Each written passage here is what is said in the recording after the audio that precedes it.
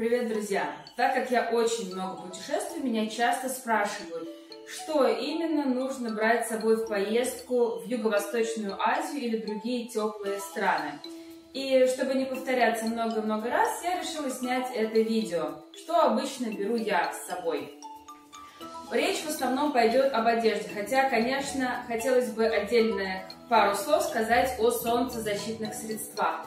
Конечно же, солнце в юго-восточных странах и в Азии или в других южных странах Африки, Южной Америки достаточно сильное, и поэтому нам, северным людям, конечно же, нужно защищать свою светлую кожу.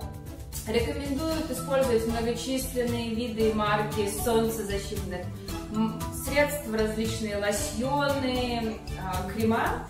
Но, честно говоря, хотя я все время вожу с собой солнцезащитные кремы, я практически никогда ими не пользуюсь, потому что когда жарко, э, очень неприятное ощущение на коже от любого вот этого вот средства. Оно течет, кожа потеет, и да, лично мне некомфортно. Что же я делаю? Во-первых, я использую большую такую широкополую шляпу, которая защищает все мое лицо.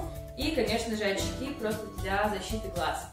И вторая вещь, которую я использую, и которую я рекомендую вам всегда возить с собой во все жаркие страны солнечные, это рубашка с длинным рукавом. Вот, например, такая рубашка, которая защищает вас от солнца, при этом она не доставляет каких-то неудобств, хлопот, и в целом очень комфортная вещь. Конечно, важно, чтобы вся одежда, которую вы берете с собой э, в жаркие страны, была из натуральных тканей, например, из хлопка. От этого будете чувствовать себя более комфортно. Э, любая синтетика, она быстро намокает, воду она не впитывает, и постоянно неприятные ощущения на коже, которые нам не нужны.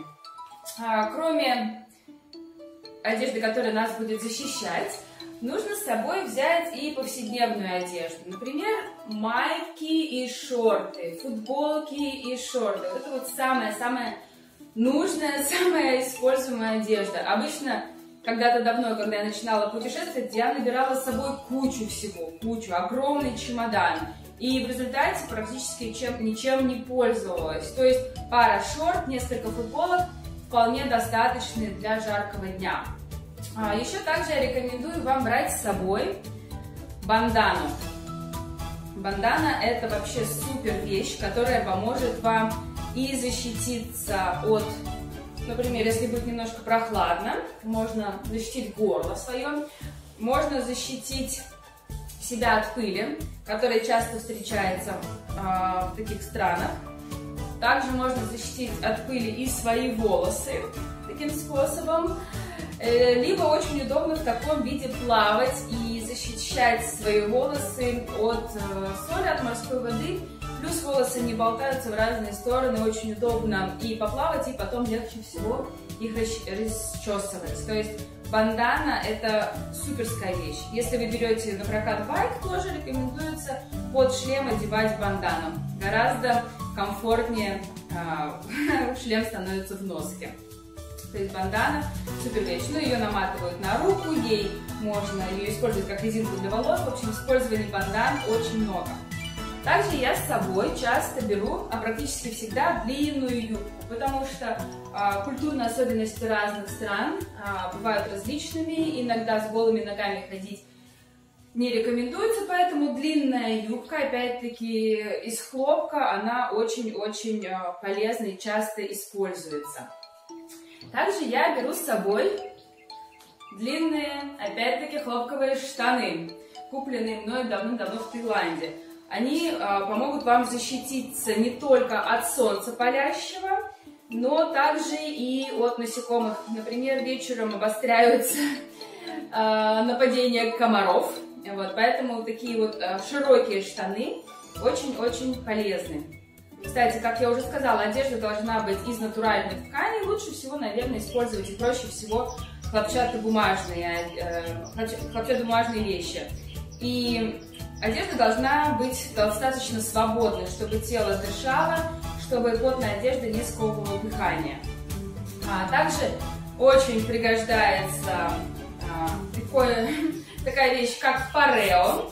Ее можно носить и как юбку, и как платье, и на нем, в общем-то, лежать на пляже.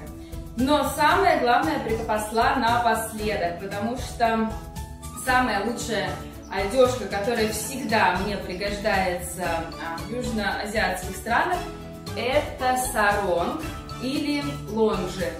А, так как я купила свой лонжи в Мьянме, а в Мьянме это национальная одежда, в Мьянме называется лонж, поэтому так я и буду называть лонж.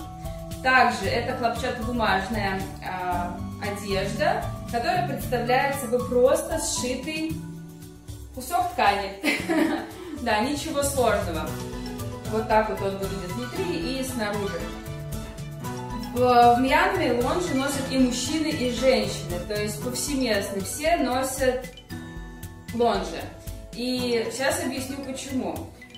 То есть легко одевается. Кстати, для женщин лонжи можно носить и как юбку, и как платье.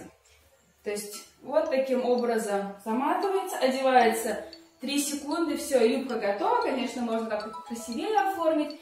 Юбка готова очень-очень комфортная и легкая в носке. Также можно носить лонжи как платье, соответственно, вот таким образом. И часто дома я ношу лонжи сразу после душа, даже не обязательно вытираться. И очень-очень-очень удобно, все проветривается, очень комфортно. А в Мьянме лонжи это, э, наверное, у некоторых людей чуть ли не основная одежда, единственная. Я видела, что они в лонже и купаются, и ходят на свадьбы, и ходят в магазины. В общем, это очень классная вещь. Когда я приехала на Шри-Ланку и одела лонжу в первый раз, люди на меня посмотрели такие, о, круто, круто, ты примерно понимаешь, как нужно носить одежду, потому что и здесь, на Шри-Ланке, и в Таиланде, и во многих юго-восточных странах лонжи используются повсеместно. И мужчины носят, и женщины носят. Э, называются э, лонжи здесь по-другому, может быть, саронги или еще как-то. Но факт остается фактом. Одежка очень комфортная, очень удобная. Поэтому, если у вас еще нет лонжи, то обязательно приобретайте, потому что э, в юго-восточных странах это, пожалуй, вот, вот эта одежда самая-самая-самая удобная и простая в носке. Если у вас остались вопросы, задавайте мне. И я очень рада, что вы досмотрели это видео до конца. Хорошего вам дня. Пока-пока.